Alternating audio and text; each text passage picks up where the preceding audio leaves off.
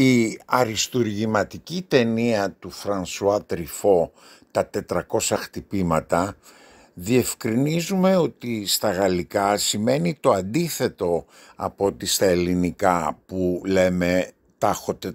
400 ενώντας έχω απολύτως τα λογικά μου. Αντιθέτως στα γαλλικά σημαίνει ο άνθρωπος ο λίγο βιδάτος που του έχει κουνηθεί λίγο το μυαλό, ε, ο λίγο σαλεμένος, ε, ο λίγο σαλταρισμένος. Λοιπόν, ε, το παιδάκι αυτό που φυσικά ο, ο Τριφό θεωρεί ότι είναι ο εαυτός του, ο σπουδαίος ηθοποιός Αντουάν Ντουανέλ, ο οποίος από μικρός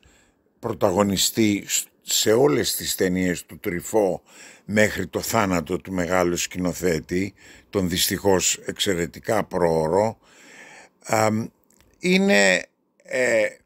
ένα παιδάκι που ακριβώς δεν το καταλαβαίνει κανείς και αυτό δείχνει το δράμα των παιδιών κατά τον Τριφό, ο οποίος Τριφό ο ίδιος μεγάλωσε σε ένα είδος ορφανοτροφείου και όλες του οι ταινίες είναι λίγο πολύ αυτοβιογραφικές. Ε,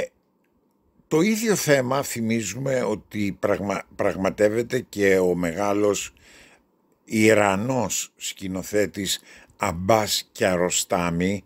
ε, στην αριστουργηματική επίσης ταινία του που είναι το σπίτι του φίλου μου όπου και εκεί το δράμα είναι ότι οι μεγάλοι δεν καταλαβαίνουν τα παιδιά ούτε καν τα ακούνε.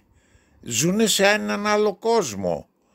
Α, κάτι το οποίο με το οποίο θα συμφωνούσε και ο Φρόιντ ότι υπάρχει ένα αλόκοτο και περίεργο φράγμα μεταξύ παιδιών και ενηλίκων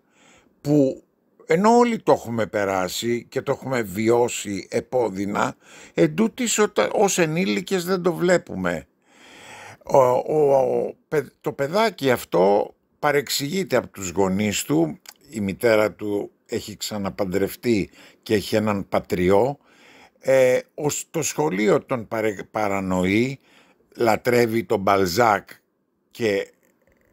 αντί να του δώσει έπαινο ο δάσκαλός του τον αποπέρνει όταν μια μέρα τους δίνει ελεύθερο θέμα να γράψουν ό,τι θέλουν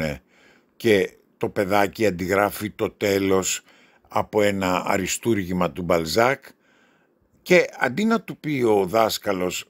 συγχαρητήρια έστω και για την αντιγραφή για την ιδέα σας ε, τον αποπέμπεις σκαιότατα από, τον αποβάλλει από το σχολείο